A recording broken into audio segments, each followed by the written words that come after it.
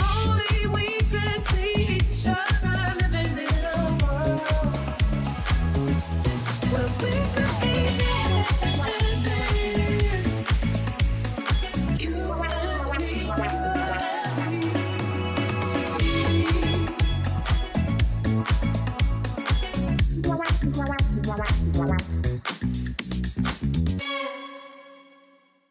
Buongiorno, benvenuti a Buongiorno Fitness, ultima fatica della settimana con Stefania Valentini. Ciao Stefania. Ciao Mila, bentrovata. Ben ritrovata anche a te, la prima puntata con te della nuova stagione. Come è andato questo lungo inverno? Bravissima, è stato proprio un lungo inverno quest'anno, però non ci siamo arresi, siamo andati avanti, abbiamo continuato le nostre lezioni online e le nostre clienti agguerrite hanno portato avanti un bel percorso per tutto questo lungo inverno di, di Covid.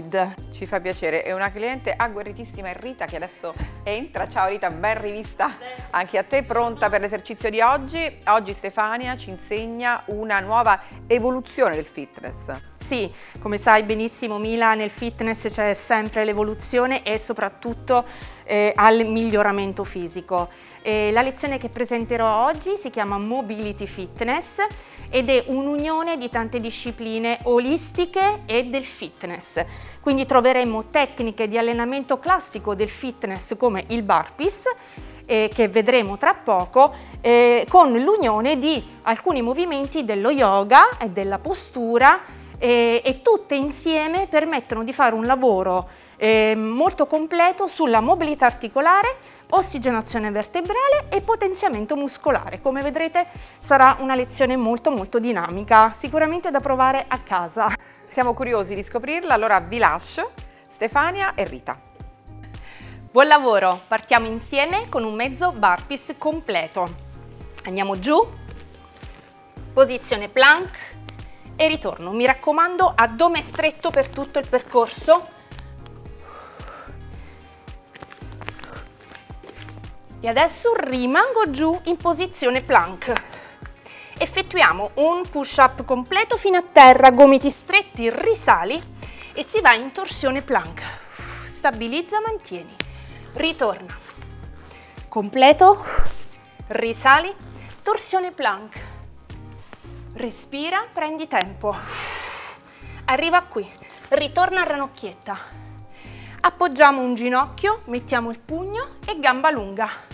Mano dietro la testa. Tre salite con la gamba distesa.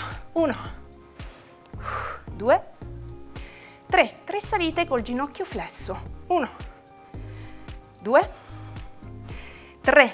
Si appoggia, si cambia lato. Tre salite. Uno, due, addome sempre stretto. Ginocchio flesso. Uno, due, tre, si torna. Mantieni. Ritorni su, si parte con il sumo squat su una sola gamba. Scendi al massimo, tieni la posizione e guarda la tua postura allo specchio. Tre volte tocco la mano a terra.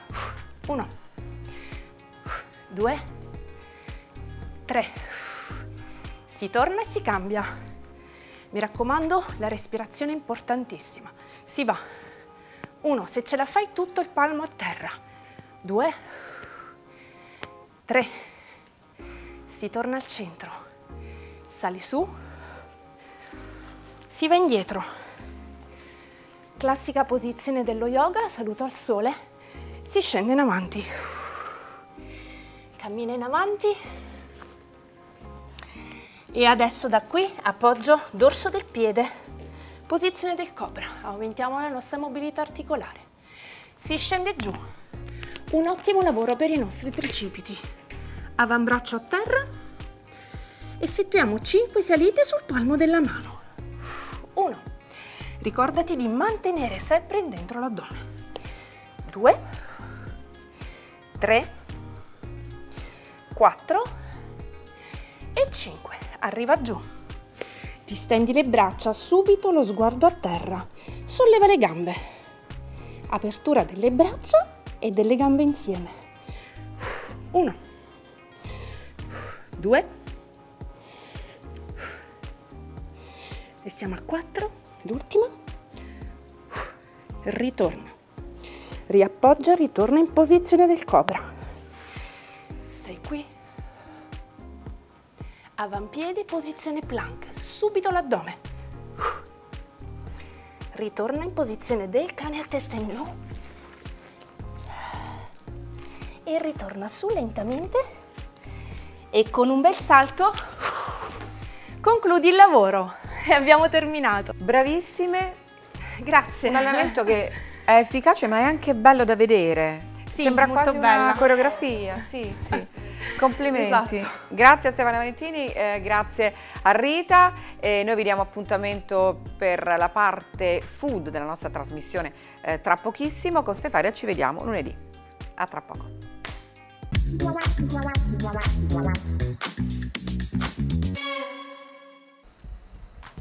Gentilmente ospitati dal Forno Stella anche nell'ultima puntata della settimana di Buongiorno Fitness con la dottoressa Marina Manieri. Buongiorno. Buongiorno. Il tema oggi è gli integrali e qui vediamo dei biscotti per esempio che per il weekend eh, vanno proprio a Una genio. dolce colazione, Eh dici? sì, eh sì, si può fare una colazione con i biscotti integrali, sì, assolutamente ce la sì, possiamo permettere. Certo. Allora, noi siamo sommersi da prodotti integrali da qualche anno a questa parte. E perché eh, questa riscoperta dell'integrale?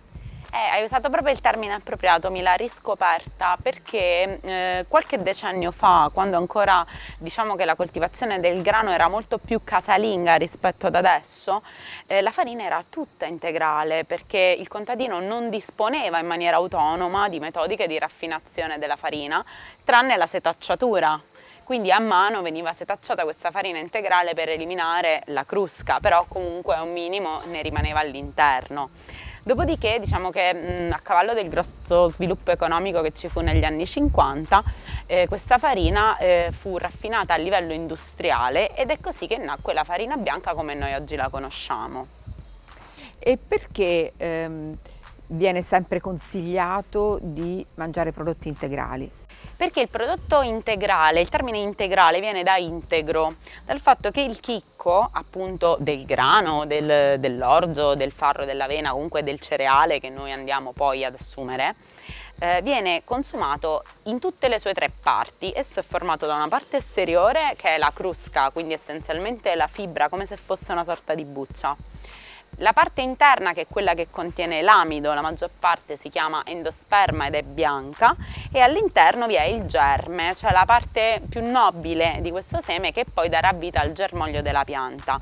Quando noi consumiamo un alimento integrale rispetto a un alimento raffinato, noi consumiamo tutte e tre queste parti e ehm, inoltre il germe nello specifico contiene anche la- un sacco di vitamine e sali minerali, tra cui la vitamina E. Quindi è consigliabile convertirci all'integrale? Sì, nel senso che eh, ogni qualvolta se ne ha la possibilità, comunque sarebbe sempre meglio scegliere di mangiare un alimento integrale perché è appunto più complesso e più adatto al nutrimento dell'essere umano rispetto che a quello raffinato. È facilmente tollerabile dall'organismo rispetto ai prodotti con la farina tradizionale? Sì e no, dipende dai casi. Per esempio, eh, i prodotti integrali potrebbero dare fastidio a chi soffre di diverticolosi del colon, ok? Appunto perché la crusca può essere irritante. Però è anche vero che prodotti molto raffinati potrebbero irritare invece un intestino che è più sensibile eh, da altri punti di vista e che quindi tende a sviluppare eh, delle alterazioni della flora intestinale se gli viene data una farina troppo raffinata. Grazie, dottoressa Marina Manieri, il nostro tempo è scaduto, io inizio ad inaugurare il weekend con la colazione a base di biscotti. Grazie a tutti voi, vi auguriamo un buon fine settimana, grazie al nostro tecnico Alberto Capo e naturalmente vi aspettiamo lunedì mattina a Buongiorno Fitness. Ciao!